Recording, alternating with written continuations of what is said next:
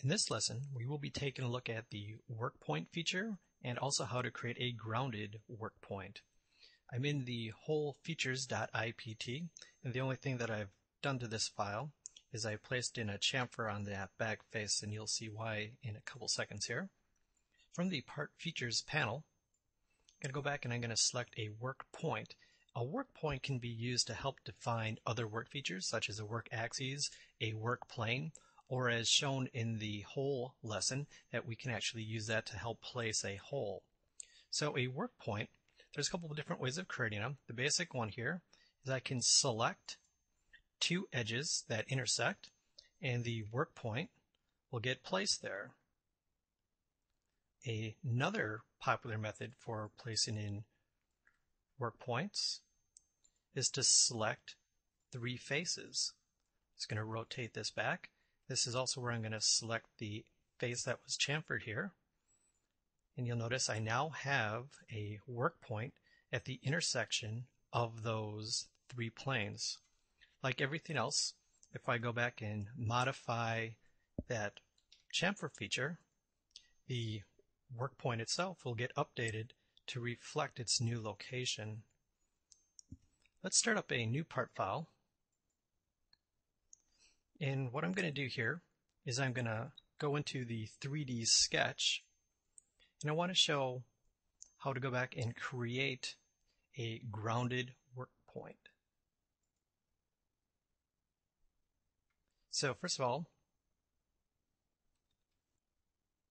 so now in this new part file here, I'm going to click return to exit out of the 2D sketch environment. And I'm going to scroll on down to the work point. Then I'm going to select grounded work point. And what a grounded work point is going to allow me to do is place it depending upon selected geometry. So the first one I'm going to place is going to be at my 0, 0 point. I'm going to go back and spin that around so we can see it a little bit cleaner. And I'm going to click apply to place one. So now what I can do is I can place in this next work point based on specific geometry. So if I want it to go so far in the x direction, I can just click on the x arrow and type in a value. So let's go out 20 millimeters and apply. You'll notice I now have work point 2 in the browser.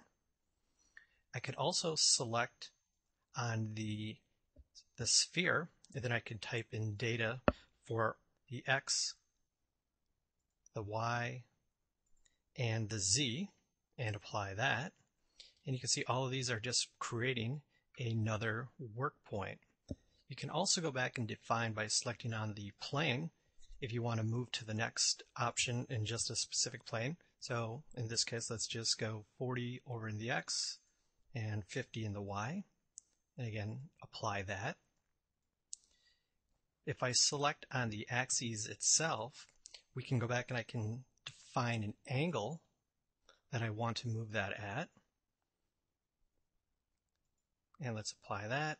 And then I can just push it up as well and apply. And as soon as I'm done with all of these, I can go back and click OK. Now I have these points in space. What I'm going to do is I'm going to go into the 3D sketch environment and I can connect the dots to maybe help define a pipe run or anything else that you want it to go back and actually have run in 3D space. So as I spin the geometry around here, you can see that it definitely is going in all three axes. Click return and I'll just finish this off just kind of show you what we can do here. So I'm going to create a work plane. Let's zoom in tight off that back edge. I'm going to make that the active sketch. In this case, we'll make it the 2D sketch. Select the circle tool. Go ahead and dimension that. Let's just make it 2.5. Spin it around. And let's return out of the 2D environment. And clicking on the sweep tool, go ahead click OK. And I now have a 3D pipe run. So in the browse, I can move my cursor back over it, right click, and do the 3D move rotate, which will allow me to go back and reposition it. In this case, I'm just going to slide it over. Go ahead, click OK. And you can see that the pipe run in this case has updated to reflect that new value.